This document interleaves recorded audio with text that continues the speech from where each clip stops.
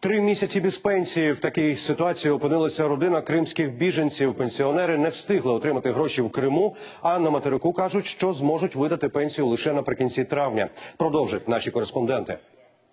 На збори часу практично не було. Вони покинули Сімферополь наступного дня після того, як їхній дочці журналісті стала погрожувати кримська самооборона.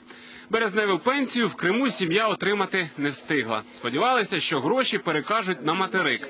Проте у столичному відділенні пенсійного фонду біженцям пояснили, що доведеться почекати. Они сказали, да, ваше дело электронкой сбросили, значит, э, пенсию вы получите теперь в мае, апрельскую, майскую в мае, а мартовскую, в общем, с ней неизвестно, судьба ее неизвестна. Вот когда придет дело, тогда мы будем вроде бы как рассматривать.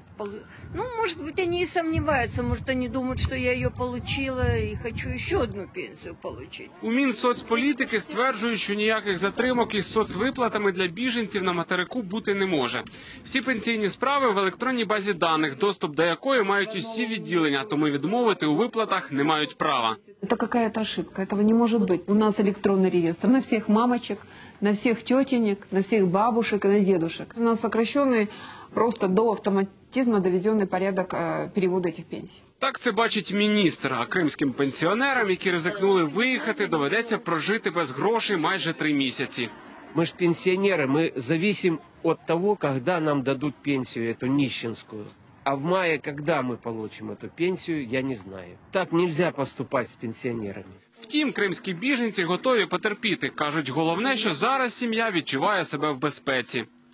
Андрій Чернишков, Ольга Клюєва, Сергій Єрьомінко, телеканал Інтер.